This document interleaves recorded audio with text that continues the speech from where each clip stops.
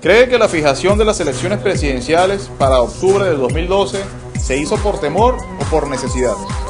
Ahí hay como cuatro o cinco cosas. Primero, se hizo para alargarle la vida a los concejales, que la mayoría son del partido de gobierno, entonces le querían dar una chamba más de un año.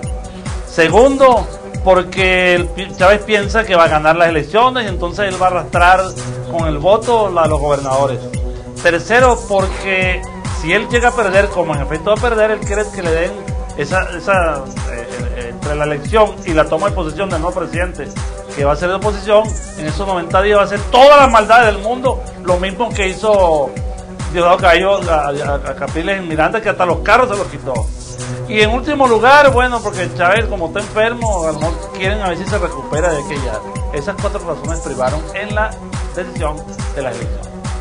Tomando en cuenta los perfiles de los candidatos a las primarias de la oposición, ¿cuál considera usted sea el más idóneo para medirse con Hugo Chávez? Bueno, yo no lo veo de perfil, yo siempre lo veo los candidatos de frente, porque el perfil es como raro, pues. Pero viéndolo de frente, creo que el principal contendor es Capiles Radonqui. En segundo lugar sería Leopoldo López, pero está inhabilitado. En tercer lugar estaría eh, Pablo Pérez. Y en cuarto lugar estaría, en todo caso, María Corina Machado. Ah, yo creo que, incluso en las primarias, creo que esa va a estar el orden de llegada. Si habilitan a, a Leopoldo. Si no habilitan a Leopoldo, pues no entrará en esa válida. Sabemos que estamos lejos de las elecciones, pero con base a su amplio manejo estadístico, ¿cuál es la predicción para la elección presidencial en porcentaje que sacará el gobierno y que sacará la oposición? Bueno, no estamos tan lejos, lejos, lejos estábamos en 1998 cuando conoció Chávez, pero ahorita estamos cerquita, falta un poquito más de un año. Y ahora en la actualidad estamos ganando en 19 estados, con toda comodidad y en unas 200 alcaldías. Y en materia de elecciones presidenciales, si el candidato Chávez llega a ser candidato porque la enfermedad se lo permite, porque a lo mejor la enfermedad no le impide ese candidato y sale otro. Pero si el candidato es Chávez, la elección se quedaría 55% a favor de la oposición, 45% a favor del gobierno, es decir, más o menos 7 millones 500 contra unos 6 millones. ¿De dónde saca usted esas estadísticas?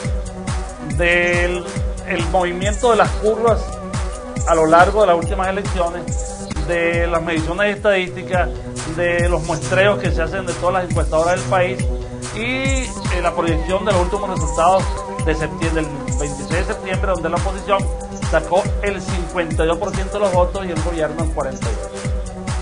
A su criterio, ¿cuál es la estrategia política más saludable que deben desplegar los candidatos de las primarias? Decir la verdad, decir la verdad. Con que diga la verdad y plantee y, y, ¿cómo se llama? Desmontar el foco de embuste de Chávez. Mira, Chávez ha hecho embuste. En esto ya te estuve viendo que las últimas tres visitas que hizo Chávez al Zulia, bueno, no la tres, pero una, hizo una en el 2004, después hizo una en el 2007 y después una en el 2011 y en las tres prometió que el nuevo puente sobre el lago y manda unos reales y lo que es la primera piedra. El mismo embuste que en la vivienda, el mismo embuste que está metiendo ahora con la con la con el, eh, barrio adentro, que antes era una cosa interesante, pero eso quebró. Con Chávez, Chávez es el rey de Midas al revés.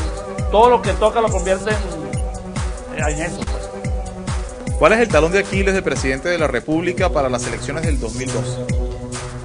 el talón de Aquiles, el fundamental es su complicidad participante en la inseguridad. O sea, Chávez no es indiferente a la inseguridad. Chávez le gusta la inseguridad. Chávez alimenta la inseguridad. Chávez estimula la inseguridad.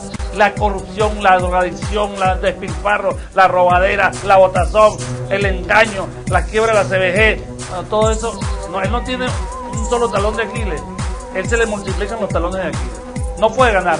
Desde el punto de vista de la racionalidad política, Chávez podrá ser popular, pero la victoria electoral no le pertenece. Tiene los días contados.